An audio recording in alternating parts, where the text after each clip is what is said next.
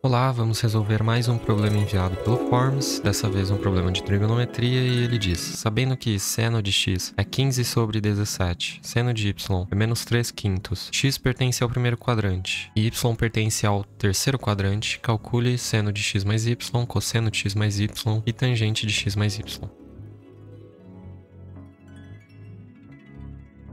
Observando o círculo trigonométrico de raio unitário, você percebe que o cosseno de θ vai assumir valores positivos sempre que ele pertencer ao primeiro ou ao quarto quadrante. Por outro lado, ele vai ser negativo se pertencer ao segundo ou ao terceiro quadrante, justo porque se você avaliar a abscissa desse ponto que eu acabei de desenhar, vai ser justamente cosseno de θ e a ordenada dele acaba sendo seno de θ. E portanto, à medida que você desloca esse ponto para o segundo e para o terceiro quadrante, você nota que vai estar do lado esquerdo do seu eixo XY e do lado esquerdo você sabe que os valores de x vão ser negativos. E pelo enunciado do exercício, como x pertence ao primeiro quadrante, você sabe que seno de x é maior que zero e o cosseno de x também vai ser maior que zero. Por outro lado, y pertence ao terceiro quadrante e, portanto, seno de y vai ser menor que zero e o cosseno de y também vai ser menor que zero. O próximo passo consiste na utilização da relação fundamental da trigonometria e vai relacionar seno e cosseno de um mesmo ângulo. Nós sabemos que seno ao quadrado de θ mais cosseno ao quadrado de θ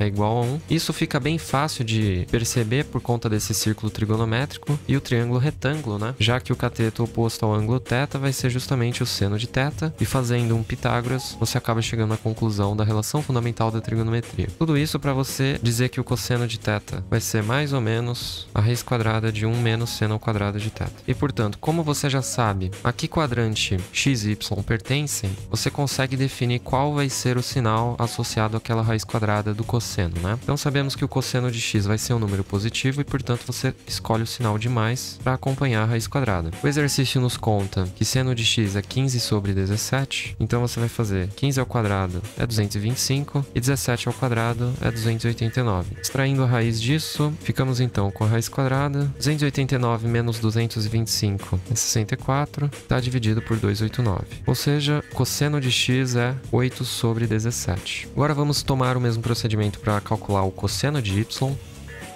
Então, o cosseno de y, sabemos que ele tem que ser um número negativo, então ele vai ser menos a raiz quadrada de 1 menos 9 sobre 25. Trata-se de um triângulo notável, né? O triângulo 3, 4, 5, e portanto você vai ter menos a raiz quadrada de 25 menos 9 sobre 25, ou seja, 4 quintos. Vou deixar do lado os valores de seno de x e seno de y, e agora nós podemos calcular cada um dos itens requisitados. Seno de x mais y é seno de x cosseno de y mais seno de y cosseno de x. Agora basta você substituir os valores corretamente. Então você fica com 15 sobre 17, que multiplica menos 4 quintos menos 3 quintos que multiplica 8 sobre 17. Eu vou colocar o denominador 5 vezes 17 em evidência. Você nota que o valor dessa operação vai ser um número negativo. E aí você faz 15 vezes 4, 60, 3 vezes 8, 24, tudo isso dividido por 5 vezes 17, que é 85. E você finaliza sua conta com menos 84 sobre 85. Agora calculamos cosseno de x mais y. Vai ser o produto dos cossenos subtraído do produto dos senos. Cosseno de x x é 8 sobre 17, o seno de y é menos 4 quintos, seno de x é 15 sobre 17, seno de y é menos 3 quintos. Novamente eu vou fazer a manutenção do denominador 17 vezes 5, e dessa vez você vai ter 45 menos 32 dividido por 85, ou seja, 13 sobre 85. Por fim, para fazer o cálculo da tangente,